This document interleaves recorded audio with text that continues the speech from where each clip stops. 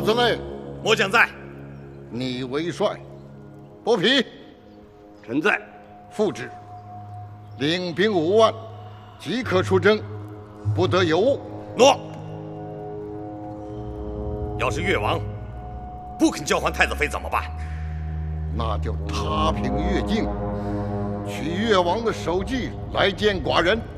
诺。相国，请将战书交与本家。战书我已遣人直接送给了夫差公子。大人，无使使月。啊！皇女刚归，无使来的好快呀。嗯，他们现在到哪儿了？已过三十里亭。吴越两国虽然关系紧张，却也不得不迎。赶快安排国宾驿馆，以国宾相迎，不得有误。诺。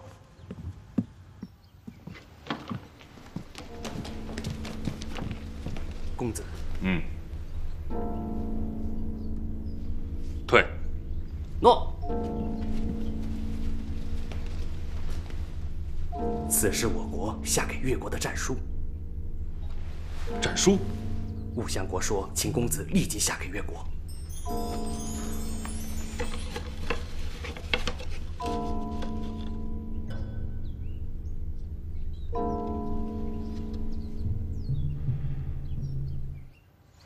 吴使大人，本行人叶雍代表我越国监国太子，欢迎大人前来出使我国。叶雍一定会妥善的安排好大人的一切食宿。请大人安心的驻留我越国，吴越关系长期往来，为使两国关系更加友好。行人大人，本使前来是为了避免两国之征战，特向越国讨回太子妃。呃，大人勿急，此事叶雍还需禀报过监国太子以后再说。那就请大人立刻禀报，本使不可久等。他凭什么讨我的王位啊？吴使道，我们必须立即把太子妃送回，否则两国开战将无法避免。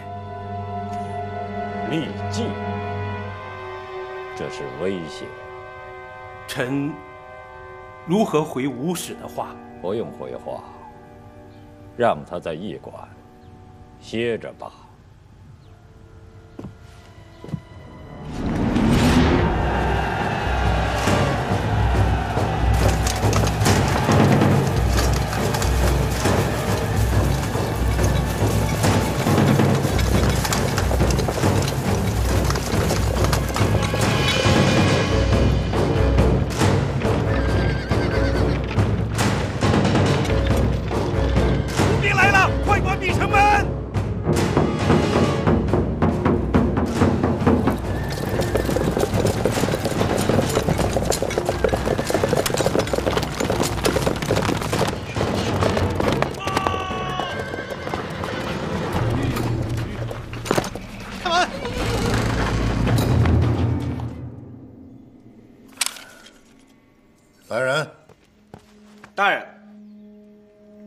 将此急报速送监国太子。诺。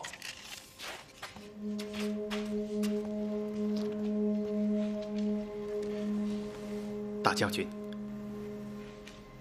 您为何不亲自禀报啊？火候不到啊。为何？老夫要先看看太子对这五万吴军的态度。以末将之见，太子一定是主战的。哦，即使太子主战，那也要等他先开口啊。若太子一定要战，大将军如何？坚决不战。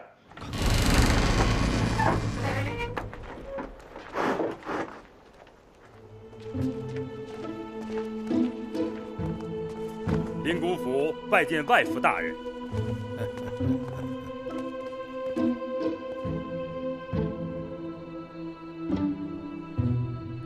我只是随便出来走走，何须行此大礼啊？起来起来起来。父亲光临，女儿于夫君。诚惶诚恐。少说客套话呀！啊！报！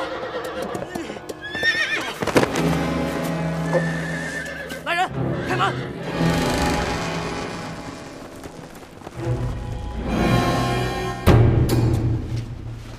不到三个时辰，石门关有三份急奏。看样子，石门关是危在旦夕呀。诺。大将军怎么没来啊？哦，微臣已经问过了，大将军说他在调兵遣将，备足粮草。看样子，他还是愿意一战。微臣不知。你去告诉他。说他忙完了，本太子要见他。诺。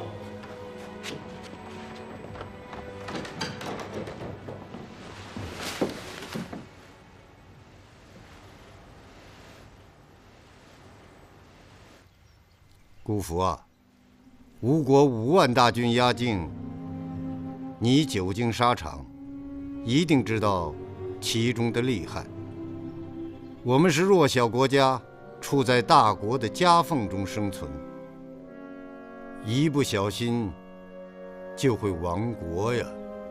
难道越与吴争，真的就没有胜算了？何为胜算？必亡无疑！必亡无疑？嗯，大人，何事？监国太子的侍臣正在府中候着呢。回去给太子的侍臣说。就说老夫这就去见太子。诺。姑父啊，你知道太子为什么要急于见我？小婿不敢妄夺。那我就告诉你，太子要抗吴，要逼老夫支持他。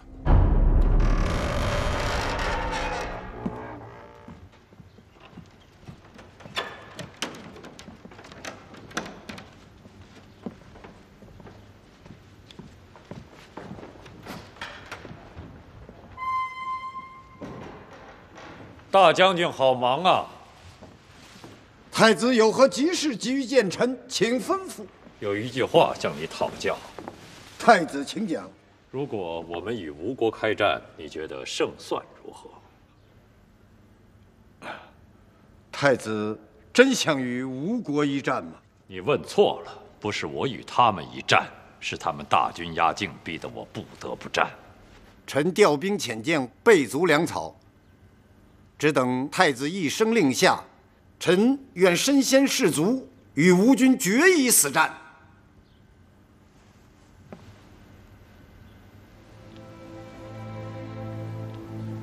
大将军，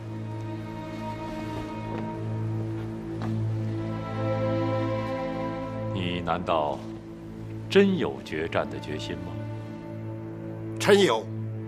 太子，我军虽然只有三万人。但我面临灭国的危险，只要我们君臣一心，就有可能战胜吴国。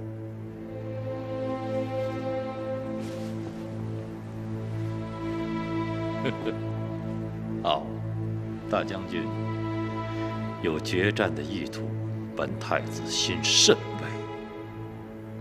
我想问问你，石门关之围，你准备怎么处置？王子累善于用兵，他为石门，意在围城打援，伺机与我主力一战。臣以为石门关可以不管，能守则守，如不能守，吴郡则会因我关破而轻敌。到那时，我们再伺机与吴军一战。大将军既然已经考虑周全，本太子就不必多虑了。也有不周全处。将，刚才臣所言是战胜，臣还有战败之言。打仗嘛，必然有胜有败。好了，大将军，我就不再耽误你调兵遣将了。记着，有什么困难，尽管找我，有我替你担着呢。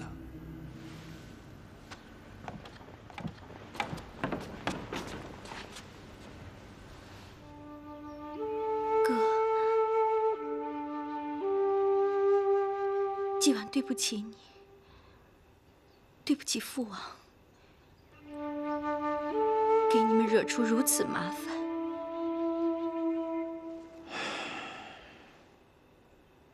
季婉，你在吴宫受了不少的委屈，现在已经回来了，不要想的太多。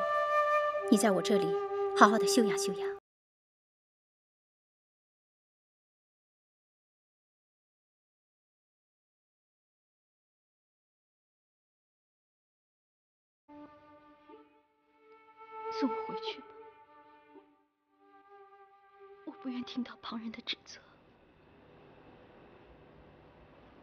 这不关你的事，你也管不了这件事。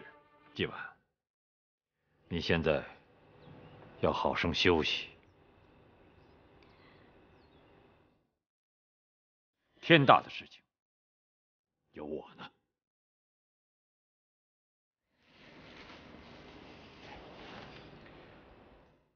黛玉，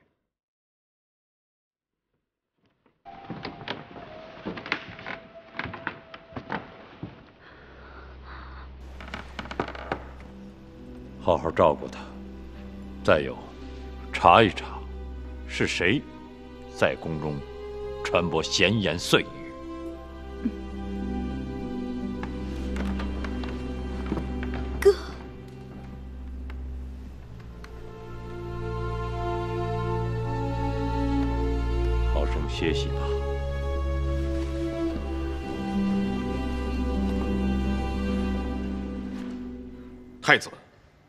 吴国的武安大军是奔着颜面而来呀。他们要颜面，我们越国就不要颜面了吗？吴国如果不动兵的话，我们还可以相商。可是他大军压境，逼着咱们顺从。诸位，你们说说，我们该怎么办？可这毕竟是王女先出走，是我们失礼在先，且忍一时之忍吧。如果忍无可忍呢？望太子三思。叶雍，臣在。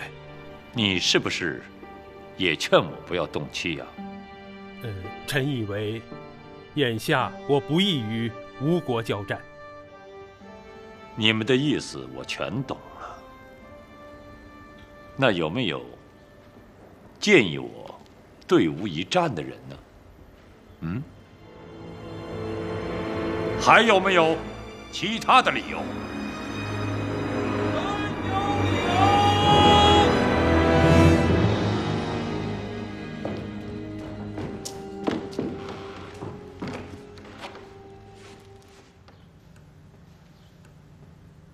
太子未招，臣却斗胆闯进来了。有话就讲。谢太子。臣以为，王女逃亡事小，而吴国人陈兵边境，讹我事大。众大臣岂可舍本逐末，宁揪住小事不放而忘却其大事？这岂是为臣之道？接着讲。诺。王女逃亡之事，吴国人五万竟陈兵我边境，其目的不仅仅是挑衅和讹诈，更是耀武扬威。其意图岂只是仅仅要回一个女人？他们是想趁机压服我国。阖闾、伍子胥之流，最善用远交近攻之谋略。唯如此，二十年前的若吴才成为今日之强国。可能不用二十年。他们就会称雄北方。可无论其如何强大，我国却绝不可被其压服。若服，便是臣服，便是傀儡之夫。你们听，为什么满朝的文武就没有佛陀的勇气和胆量？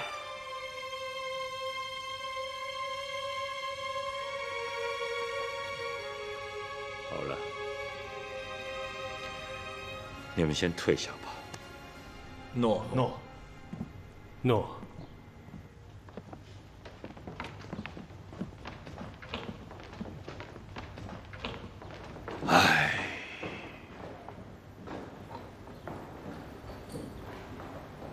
副总，在。你算是给我解了围啊！中午大将军刚给我鼓足了勇气，现在这帮文臣又跑这儿来给我泄气。太子，大将军说的可不是真心话呀！此话怎讲？你听到了什么？太子，据臣所知，这帮文臣们力荐太子，可全是大将军的说文臣围歼太子，是大将军的意图？臣还听说，大将军府的人散布我军必败，这臣也有所闻。差点把本太子装进去。太子，同为朝臣，就怕他不说真话呀。这何止是不说真话？副统，你马上把大将军麾下的几位将军召集起来，我要和他们谈话。记着，这事儿不能让石买知道。哦，这是为何？我要听听石买什么是真话。来人，在。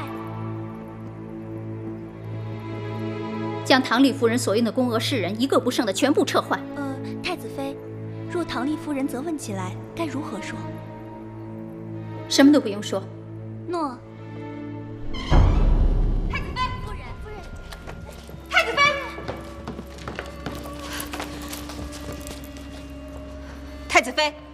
妾身犯了何罪？怎么了？你知道你干了什么？夫人，王妹奔归是无奈之举。论起辈分来说，你也算是长辈吧，你应该多安慰她才是。怎么可以没轻没重的埋怨她？更不应该风言风语。妾身如何埋怨？又如何风言风语了？还用说的那么明白吗？换了你的下人，就是让他们长长记性，管好那一张胡言乱语的嘴。你，你太过分了！你，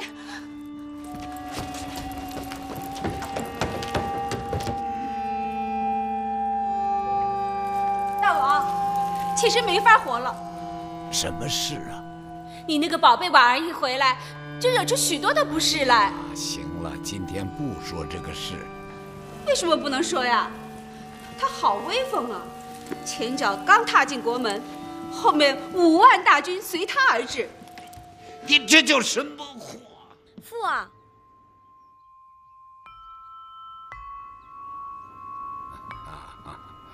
哎呀，还是我的鸡快，懂事啊！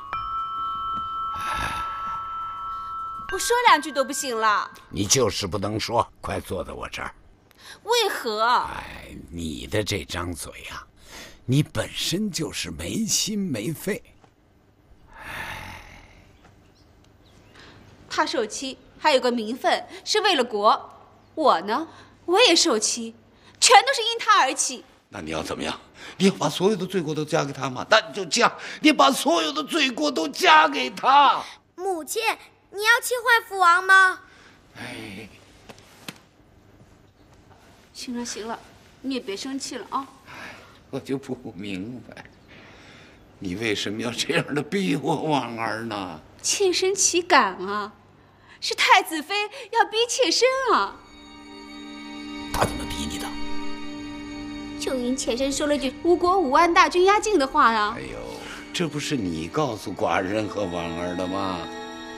所以呀、太子妃就把气全部都撒在妾身身上了。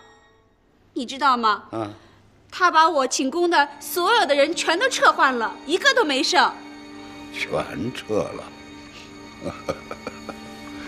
好啊，看起来我把后宫交给太子妃料理是交对了。你什么意思啊？啊，我就活该受人欺负啊！哎呀，你那算什么？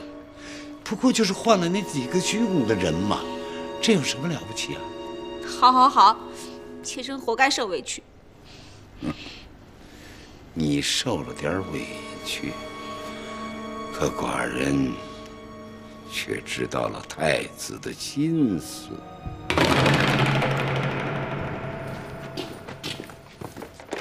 大将军，护送王女归国的武士带到。黑羿叩见大将军。嗯，你冒死护送王女祭晚回国，立了大功，应该重赏啊！黑羿只想为国尽力，并无所求。你可知，眼下吴国五万大军压境，吴越两国形势严峻，也是因为你既无王令，又无口谕，擅自莽撞行事所闯下的大祸。大将军，王女自有难言之苦，私下命令黑衣护送她出逃无功，在下不敢不从。你竟敢强词夺理！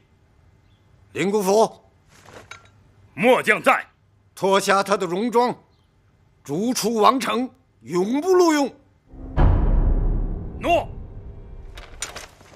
大将军，询问大人，讨要太子妃之事不可再拖了。夫人有伤，更何况难得回国一次。总该叫他们叙叙亲情吧。这亲情可叙，可这军情更是十万火急呀。吴使，还是耐心的等一等吧。本公子可以等，可是王子累那五万大军，他不会等的。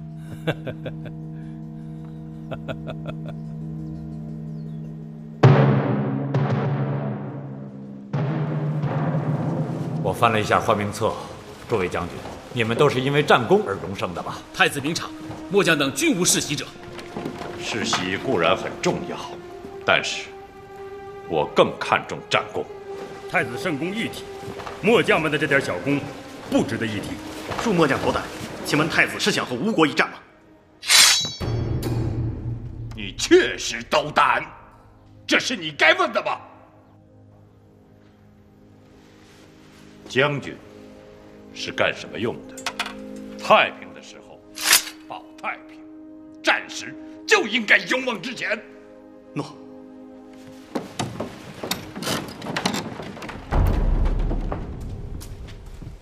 大将军，大将军，太子可是一次召见了六位将军呐！以末将之见，太子求战之心越来越坚决呀。这在我意料之中啊！可现在的情况已是万急呀！大将军不宜再委婉周旋了。你的意思是，让老夫再站出来？文臣的利剑之计已行不通了，将军们还没有表明态度，就被太子驳回。现在能改变局面的，只有大将军您了。你是让老夫与太子正面交锋？非交锋不可。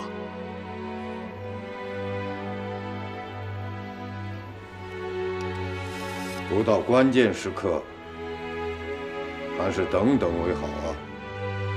大将军，吴军可是不会等我们的。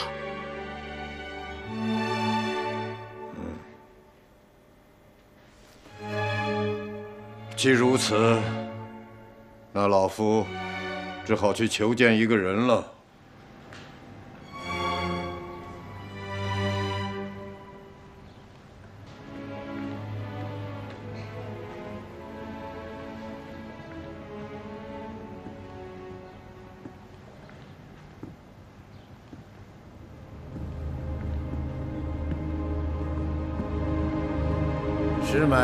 请大王圣安。哎呀呀呀！大将军，快快请起，寡人不敢受此大礼呀。大王不受，谁能受之啊？太子啊！我既然啊，我既然已经委国于他，他就是一国之主啊！大王，臣虽愚拙，但自身有多重，臣还掂量得清。若不是大王的提携与恩赐，臣哪有今日啊？这些微薄的礼物，还请大王笑纳呀。什么礼不礼的，都与寡人毫无关系，还是你自己拿回去好好享用吧。寡人老了，加上身子骨不太好，又有些念旧。只要你们时常挂念就可以喽。臣不敢说朝夕挂念，但感念之情却日日有之。寡人正好有一件事情要讨教大将军，微臣不敢，还请大王赐教。你说，这吴国五万大军压境，是不是冲着我婉儿来的？其实。大王心里更明白，吴国臣服越国之心早已有之。王女奔归，让他们找到了一个讨伐我们的理由啊！可是依寡人之见，即便没有这个理由，吴军迟早也是要来的。大王所言极是啊！怎么说？吴军压境与我婉儿无关了，但却给他们捉住了一个把柄啊！这是你们大臣们的事，也可以让吴国抓不到把柄。臣斗胆说一句，这个主意得太子拿呀！太子拿，无非是你们给他出些个隔城赔款的主意。推给太子拿吧，臣岂敢有如此建议？越国的每一座城池，都是大王亲自领兵征伐而得，岂能空手给予他人呢？这么说，你们是在打我婉儿的主意了？石埋不是没有甘赴国难之心，只是不敢有负大王之重托呀。明白了，你们还是要牺牲我的婉儿，好吧？你退下去吧。来啊，把这些烂东西全给我扔出去！大王，大王。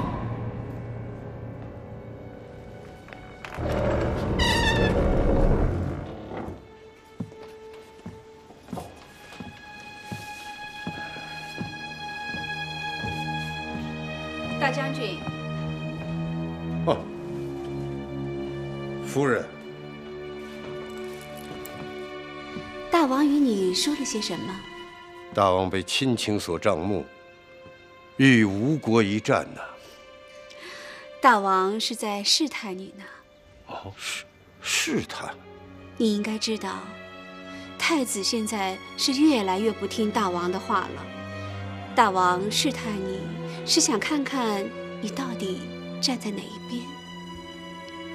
石买主张不战，这就对了。可可太子却非战不可呀！大将军不战，太子拿什么去战呢？啊啊！夫人，石买告辞。千错万错，都是父王之错。当初就不该让你和吴国和亲呐。他吴国不就是要臣服于我吗？那就让他来好了。父王不能一错再错了。父王，婉儿知道。你是为了国之有生，你也不要过于悲伤。要养好自己的身体，懂吗？亚玉，看好我的婉儿。亚于遵旨。大王驾到！大王，起来吧。谢大王。大臣们都给你出了些什么主意呀？什么主意都有。那你是准备革城啊，还是赔偿？既不革城，也不想赔偿。要和吴人言和？言和，我想过，但是就吴国人的野心，言和是没有用的。那就是和吴人一战。应该有这个准备吧。石买愿不愿意一战？他没有说不战。寡人料他不会为之一战。大王，会不会言之过早？不早。我亲耳听到的还会有错吗？去告诉你的王妹，不要因为她一个人。搞得我们大家都不得安生。为什么父王不亲口告诉她？寡人老了，见不得眼泪。可是王妹回吴是必死无疑呀。她若不回吴，越国必死无疑。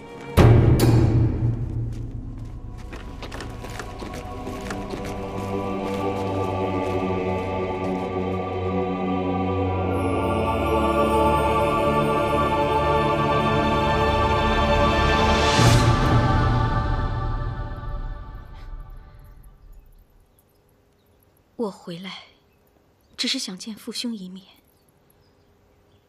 既然已经见到了，也就没有什么可遗憾的了。你想的太多了。你去告诉我哥，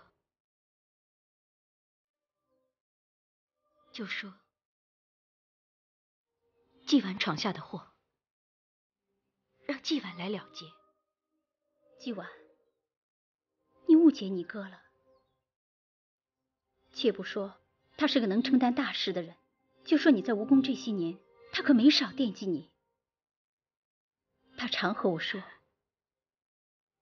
若父王允许，他宁愿放下监国的重任，入吴为使，其目的就是去探望你啊，看你过得是否开心，看你在吴国是不是被人欺负了。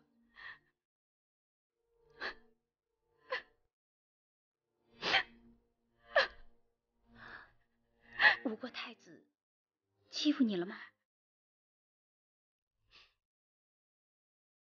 不是的，那还能有谁呢？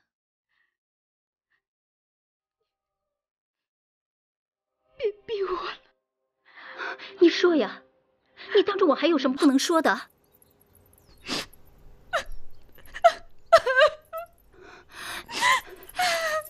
你快说呀！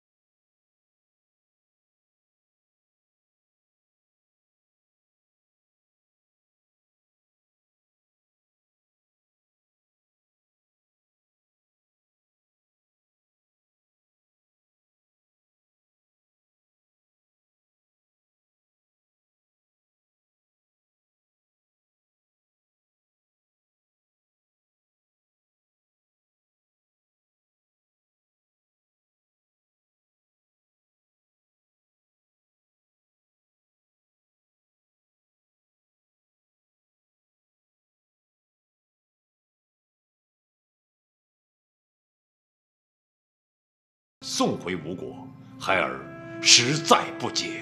我若不答应，他们就找到了借口。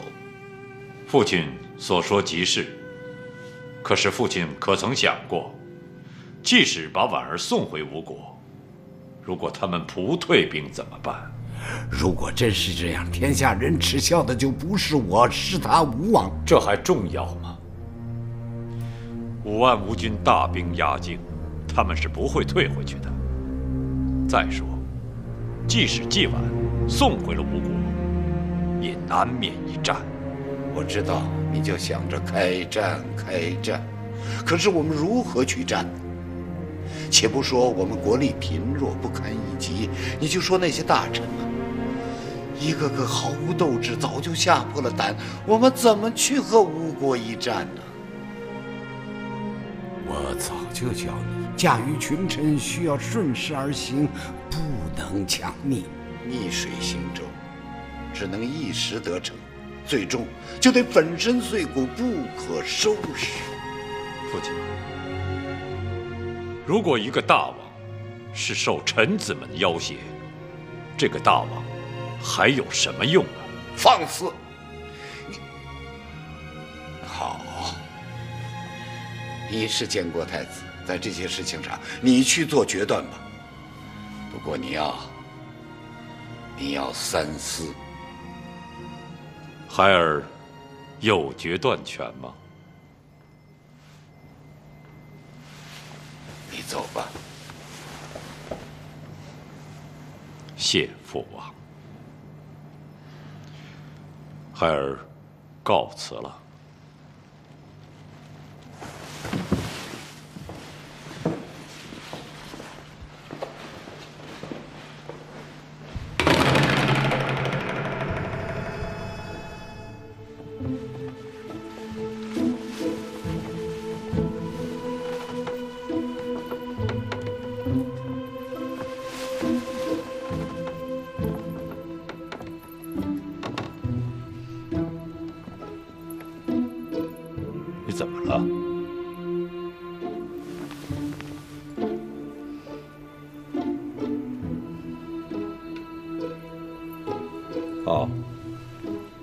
先下去吧。诺。诺。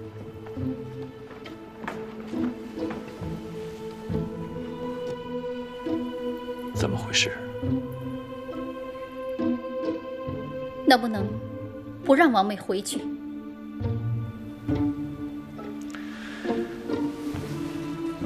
不让王妹回去，这事已经很无奈了。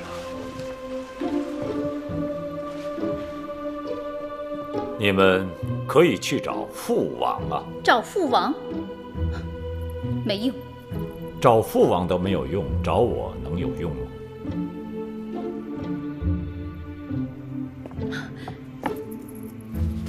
太子，王妹真的不能再去吴国了。你这是在说笑吧？亚鱼啊，你最好不要参与宫中之事。他回去了，天下 从此太平了。他如果在吴国受的是苦难呢？人生谁无苦难呢？如果他受的是羞辱呢？你这话我不明白。吴王阖闾为老不尊，他竟强暴了你的妹妹。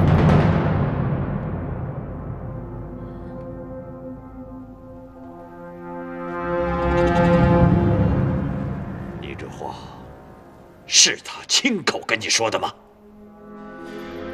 是，是他跟我说的。那他为什么不找父王？为什么不找他的父亲？她是他的女儿。太子啊，找他真的能改变吗？改变？他连自己的女儿如果都保护不了，何以保护越国？太子，你先别着急，现在最重要的是想没有办法，除非。除非他去死！太子，不可乱言！什么乱言？你为何到我这来乱言？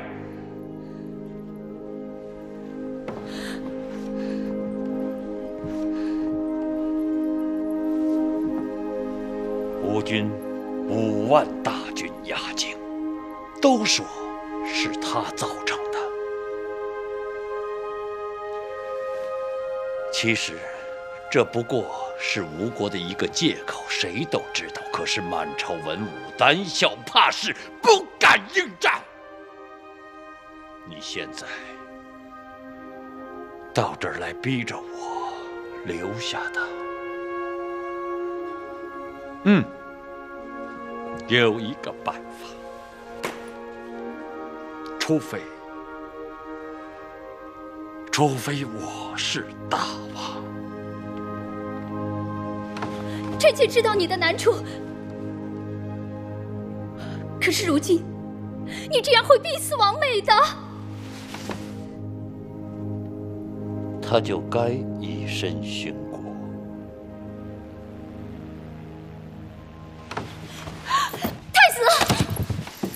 只有你能救王美，不能救他，他就得回去，他不能再让我们越国人丢脸，而且。